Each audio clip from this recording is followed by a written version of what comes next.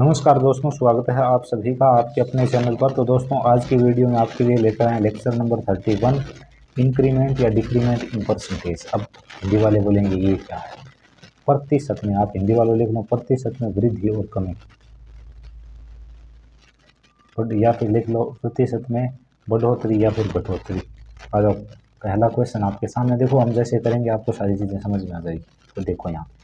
ए को 10 परसेंट बढ़ाया गया है और बी को 20 परसेंट घटाया गया तब चेंज इन परसेंटेज हिंदी वाले लिख लो प्रतिशत में परिवर्तन कितना होगा। तो आज पहले हिंदी के अकॉर्डिंग बता देते हैं तो यहाँ पे लिख लो पहले। ठीक है, यहाँ पे लिख लो अब जब में। मतलब चेंज करने से पहले चेंज करने के बाद। आ जाओ तो बात का गौर करना, देखो पहले मैं आपको बता दूँ कि जब एक बार थोड़ा यहाँ पर बेसिक समझ, जब वो आपको बोले ना कि दस परसेंट बढ़ाया गया है तो दस परसेंट की वैल्यू क्या है? एक एक बार मैंने आपको बताई थी, मैंने आपको याद करने को दी थी परसेंटेज के लिए रेशियो वैल्यू ये फ्रैक्शन वैल्यू तो एक बट्टे दस है, जब वो आपको बढ़ाने का बोले ना, तब आप ये बोलना कि शुरू में वो दस थी तो बढ़ाने का बोल रहे तो ऊपर वाले को जोड़ दो इसमें। दोनों को जोड़ा तो यहाँ पे कितना आ गया? ग्यारह मतलब दस से ग्यारह हो गया। बात समझ में आई या नहीं है? दोनों बच्चों आई कि नहीं? यदि यहाँ पे भी ये हमें घटाने का बोल देता ना, हम करते। यहाँ पे शुरू में तो देखो नीचे वाला है ना, वो शुरू में आ जाएगा, यहाँ पर ये वाला। ठीक है, फिर यदि ये बढ़ाने का बोल रहा है तो ऊपर वाला इसमें जुड़ जाएगा। यदि ये बोले कि घटाया जाता है तो ये घट जाएगा। जैसे यहाँ पे घटाने का बोल रहा है तो घटेगा। दस में से एक घटेगा बच्चे तो कितना आएगा? नौ। तो कुछ इस तरीके से इसका बेसिक आ जाओ, आराम से करते हैं। कोई दिक्कत वाली बात नहीं। देखो, आप लगाओगे ए ए में दस परसेंट की बढ़ोतरी हो रही तो ए की फ्रैक्शन वैल्यू क्या होती है? एक दस परसेंट एक बटे दस, यानी कि ए पहले दस था, अब बढ़ाया मतलब दस में एक और जुड़ गया तो कितना हो गया बच्चे? ग्यारह, यहाँ पे आपने लिख दिया ग्यारह। पहले दस था, अब एक और बढ़ गया, यानी कितना हो गया? ग्यारह। अभी आ जाओ बी को देखते हैं। बी में ये बता रहा है, बीस परसेंट घटाया जाता है। बीस परसेंट की वैल्यू होती है एक बट्टे पाँच। तो पहले तो नीचे वाला लिख के दो। देखो बच्चों, बात का गौर करना, नीचे देखो पाँच है, पाँच यहाँ पे दस था, दस आया। अब यहाँ पे तो देखो बढ़ोतरी हो रही थी तो एक हमने जोड़ दिया यहाँ पे घटाया जा रहा है तो पाँच में से आपका एक घट जाएगा तो बताओ यहाँ पे आगे कितना आएगा, चार आएगा अभी मेरी बात को ध्यान से सुनना। अब देखो, हमने यहाँ पे पहले सक्सेसिव लगाया ए पे, और बाद में हमने सक्सेसिव लगाया किस पे? बी पे। बात समझ में आ रही है कि नहीं यार? यहाँ पर ए पर लग रहा है कुछ चीज़, यहाँ पर लग रहा है बी के लिए। तब क्या होता है? देखो यहाँ पर ए है, यहाँ पर बी है। दोनों अलग अलग है या नहीं है? ये ए है, ये बी है। एक नहीं है, दोनों अलग अलग है। अलग अलग हो तब आप इन, इनको, इन दोनों को गुणा करा लो। तो दस पंजे कितना होगा आपका पचास? समझ में आ रहा है कुछ? गौर करना, ठीक है। और ग्यारह का इनको भी आप गुणा करवा लो। यहाँ गुणा सेम प्रोसेस होगी जो इस साइड हुई, वही इस साइड होगी। ग्यारह चौके कितना हुआ बच्चे? चवालीस। अभी देखो यहाँ पे कुछ कुछ कट छंट रहा है। काटोगे तो यहाँ पर आप बोलोगे कि सर जी पच्चीस आ गए। यहाँ पे आप काट के बोलोगे कि सर जी बाईस आ गया अभी देखो पच्चीस से आपका बाईस आ चुका है। कितना आया बच्चे? पच्चीस से बाईस। यहाँ पे हम निकाल रहे हैं। कितना घट चुका है? तीन। पहले पच्चीस था। पहले कितना था बच्चे? पच्चीस। और अब कितना है बाईस? कितना कम हुआ? तीन। किस से कम हुआ? पच्चीस से। बट्टे में लिखोगे पच्चीस। मल्टीप्लाई में ऑलवेज लगाओगे हंड्रेड काट छांट करोगे तो आप बोलोगे ये यहाँ पर कट के चार देगा तो तीन चौके बारह परसेंटेज आपको क्या हो जाएगी? कमी। कमी क्यों ही क्योंकि देखो, यहाँ पे कम हो रहा है तो कमी, और यदि बढ़ जाए तो वृद्धि बस हो गया। इंक्रीमेंट डिक्रीमेंट यही है। ठीक है नॉर्मल बात आपको ये समझ में आ रही है और मैं बोल रहा हूँ, बहुत ज़रूरी चीज़ है ये। ठीक है, इस पर हम दावे के साथ बोल सकते हैं मैथमेटिक्स का कोई भी पेपर जिसमें ये आपके एग्ज़ाम में दो से तीन बार काम आएगा। कोई भी, मैं बोल रहा हूँ सी एच एस एल हो सी जी एल हो एम टी एस हो रेलवे हो, कोई सा भी एग्ज़ाम हो, जहाँ पे मैथमेटिक्स पूछा जाता है। समझ रहे हो ना आप कि नहीं समझ रहे? चाहे बैंकिंग हो, ये ज़रूरी चीज़ है, इस पर आप अपनी पकड़ बना लो। आगे चलना चाहेंगे सी को देखो, पचास परसेंटेज तीर का चिन्ह मैंने ऊपर की साइड किया है एरो का साइन इस बार इंग्लिश में बताएँगे। ठीक है तो ऊपर की साइड मतलब बढ़ रहा है इंक्रीमेंट हुआ है, ठीक है। अगला है डी डी में चालीस परसेंट एरो का साइन नीचे की साइड है ठीक है? तो इसका मतलब डिक्रीमेंट हुआ है। परसेंटेज चेंज पूछ रहा है, हमें ये बता देंगे। तो प्यारे बच्चों, आप बोलोगे ओल्ड और आप बोलोगे न्यू ये इंग्लिश वालों के लिए। इंग्लिश वाले ऐसे नाम लिख लें, लिखना चाहें तो। सी के लिए जो पचास परसेंटेज आपका बढ़ा हुआ। पचास परसेंट की वैल्यू है एक बट्टे दो, यानी पहले दो थी। बढ़ा है तो दो में एक जोड़ दो। दो और एक कितना हुआ बच्चे तीन? अभी आ जाओ डी डी में देखो, ये बोल रहा है चालीस परसेंट चालीस परसेंट की वैल्यू होती है, दो बट्टे पाँच। देखो, ये भी आपको नहीं निकालना तो चालीस बट्टे परसेंटेज हटाओगे तो बट्टे में क्या लिखोगे? सो काट छांट करोगे तो ये दो और ये पाँच आ गया ना। तो बस सीधा इसको याद रखना है यार, और क्या आपके काम दे। दो बट्टे पाँच, यानी कि पहले पाँच था, ठीक है, पाँच में से दो आपका घट गया। तो अब कितना बचा? तीन बचा, क्योंकि ये नीचे की साइन है ना, तीरों, तीर का चिन्ह, इसलिए घटा दिया। अभी आप ऐसे लाइन खींच दोगे सी सी है डी डी यानी कि दोनों अलग अलग है कुछ कुछ कट छंट रहा है इधर उधर से बिल्कुल नहीं कट रहा। ठीक है ना? इस इस साइड वालों से, इस साइड वाला कोई भी कट रहा है, नहीं कट रहा तो गुणा करा दो। पाँच दूनी दस। टू फाइव ज़ा टेन, थ्री थ्री ज़ा नाइन। यानी कि आपके पास स्टार्टिंग में, इसको आप ऐसे भी बोल सकते हैं, इसको आप I N I T I L इसको आप इनिशियल बोल सकते हो, इसको आप फाइनल फाइनल भी बोल सकते हो, इसको आप ओल्ड बोल सकते हो, इसको आप न्यू बोल सकते हो। इसको आप बिफोर बोल सकते हो, इसको आप आफ्टर बोल सकते हो। समझ गए? वो आपका आपके ही वर्ड है। बस आपको समझ में आना चाहिए कि पहले वैल्यू ये थी, अब वैल्यू ये है। बात समझ में आ चुकी होगी। कैसे? देखो, नीचे वाला पहले वाला तो नीचे वाला एज इट आता है यदि इंक्रीमेंट हो रहा है तो ऊपर वाले को जोड़ दो, जैसे कि हमने पहले वाले में जोड़ा। डिक्रीमेंट हो रहा है तो ऊपर वाला नीचे वाले में से घटा दो और फिर लिख दो। फिर हमने गुणा करवा लिया, ये दस है, ये नौ है। अभी आप बताओ, बच्चे, दस में से नौ कितना कम हुआ है? एक कम हुआ है। कम हुआ है, कम हुआ मतलब डिक्रीमेंट परसेंट आएगा यहाँ पे डिक्री परसेंट डिक्रीमेंट परसेंट पूरा नाम नहीं लिख रहा हूँ, पूरा नाम आपको लिखना आता है, ऊपर मैंने लिख रखा है वैसे भी। ठीक है ना? वीडियो स्टार्ट किया था, ऊपर ऊपर देखो आपको ये दिख रहा है डिक्रीमेंट इंक्रीमेंट क्या दिक्कत है। ठीक है तो एक कम हुआ है, किस से कम हुआ है? दस से। तो बट्टे में कितना लिखेंगे? दस। मल्टीप्लाई में ऑलवेज कितना लगाएँगे? हंड्रेड क्यों लगाएँगे? क्योंकि देखो सौ पे निकालना प्रतिशत हमेशा सौ पे, ज़ीरो से ज़ीरो कैंसिल, एक में एक का भाग, एक बार दस से गुना यानी ten percentage will be your right answer of this question. और टेन परसेंट ये क्या है? ये है बच्चे डिक्रीमेंट। मैं इतना आराम से इसीलिए बता रहा हूँ कि हर जो चीज़ है वो आपके दिमाग तक पहुँच जाए।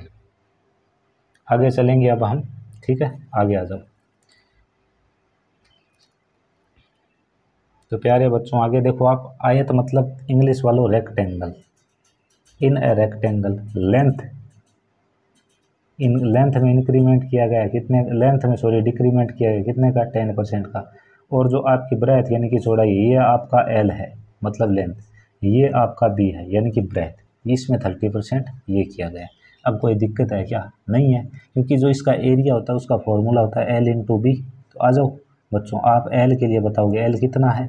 एल दस परसेंट डिक्रीज हो रहा है, एक बट्टे दस।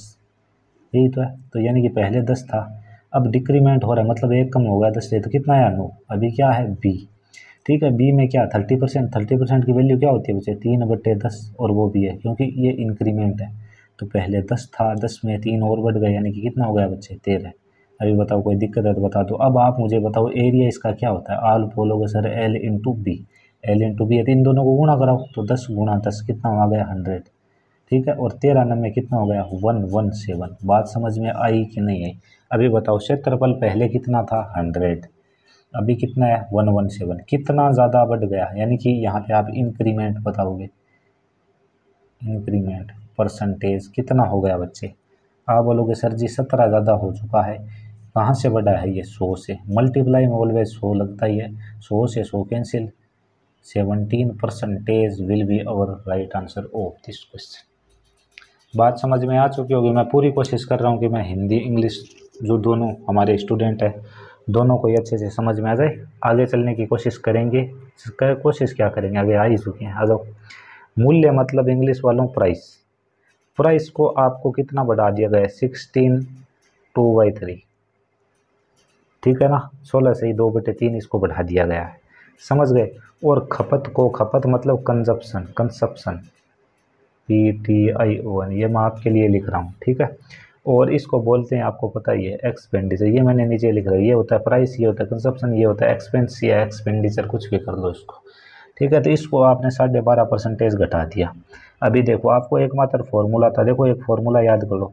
प्राइस गुणा कंसप्शन बराबर होता है एक्सपेंस इसको आप याद रखना। हिंदी वालों, आप लिख लो, मूल्य गुणा खपत बराबर खर्च। याद कर लेना अच्छे से। बहुत ज़रूरी फार्मूला है। एक परसेंट तो इस पर आना ही है। ठीक है ना? जिसकी किस्मत ख़राब हो, उसकी शिफ्ट में नहीं आएगा। बाकी सबकी शिफ्ट में क्वेश्चन लिखने वाला है। पिछली बार भी एमटीएस में भर भर के दिया।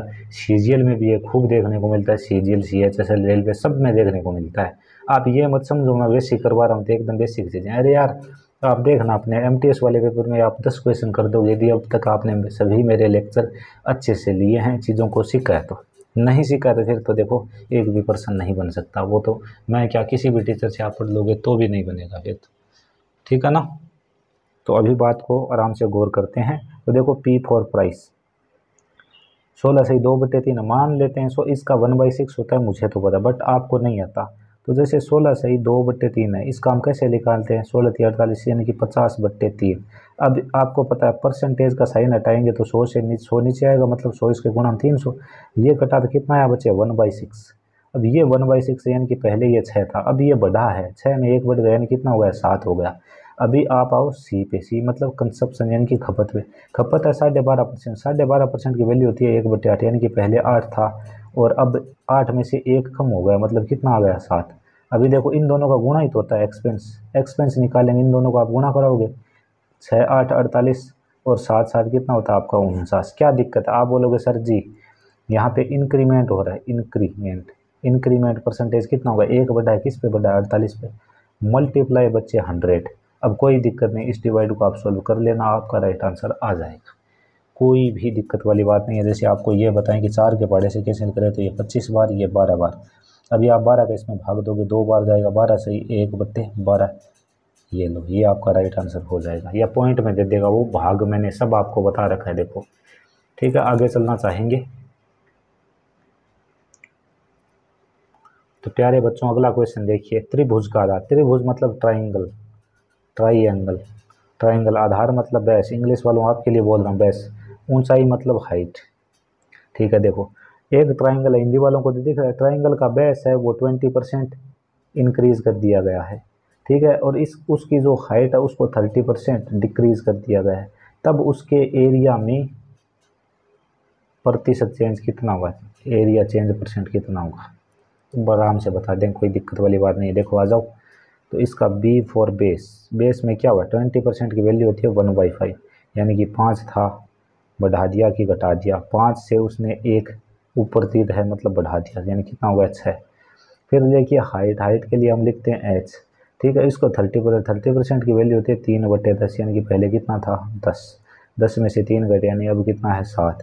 ठीक है, अब देखो, इसका क्षेत्रफल होता है आप बोलोगे, सर जी, एक बटे दो गुणा बेस इंटू हाइट होता है। मैं बोल रहा हूँ, एक बटे दो का कुछ लेना देना नहीं है यहाँ पे।